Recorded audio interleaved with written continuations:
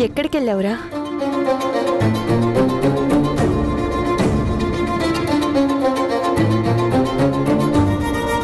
కూలి పనికి వెళ్ళావా